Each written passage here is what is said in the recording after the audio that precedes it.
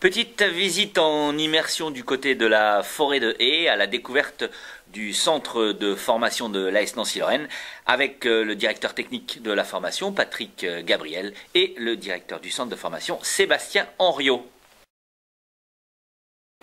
La philosophie est très simple, c'est un triple, triple projet sportif, euh, éducatif et scolaire. Donc sur, sur, une période de 5 ans qui correspond à la formation. Alors évidemment, obtenir un diplôme pour les gamins, important, puisqu'on a affaire de temps en temps à des garçons qui peuvent être déscolarisés ou en difficulté.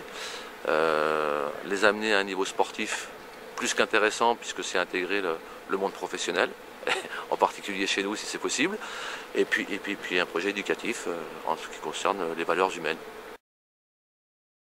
Depuis tout le temps, la, SNL était un club formateur.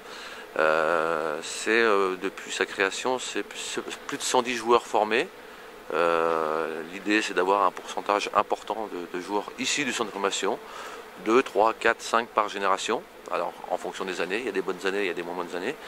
Euh, mais l'idée, c'est d'avoir une équipe où euh, la majorité des garçons sortent du centre de formation. Dans un premier temps, on s'arrête sur le potentiel technique et, athlétique du garçon.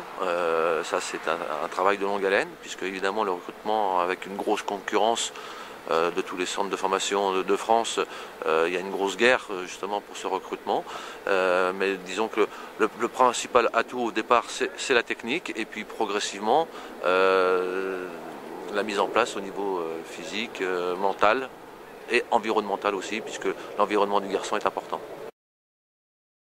L'idée, c'est d'avoir une base interrégionale avec la LASORAN et le Pôle Espoir de, grosso modo de 50% de garçons issus de ces, de ces deux régions, et puis 50% euh, d'autres gamins qui sont issus d'un petit peu plus loin, et euh, en majorité d'un gros quart nord-est euh, qui part de Lille, Paris, Lyon, et tout ce qui est à l'intérieur de ce secteur.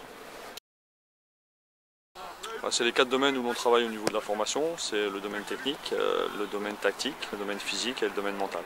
Le cursus sportif dure 5 ans et à côté de ça, il y a un cursus scolaire, mais lui, il dure que 3 ans. Le recrutement se fait avant ces 5 ans, donc c'est un projet je dirais, à, long terme, d'éducation du gamin de, l'âge de 13-14 ans jusqu'à l'effectif professionnel vers euh, aux alentours de 20 ans.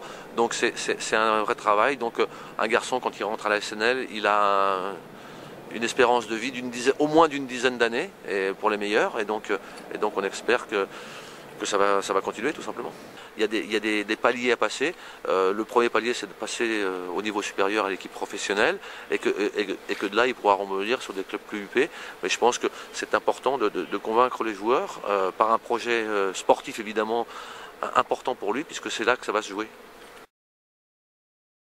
Ah bah on, découvre depuis, un an, grosso modo, euh, les 92, les 93, les 94. Là, les, derniers sortants, les 95, avec Walter et l'anglais, euh, Nardi 94. Et donc, euh, on sait que dans nos générations, il y a des garçons qui vont aller s'illustrer vers le plus haut niveau.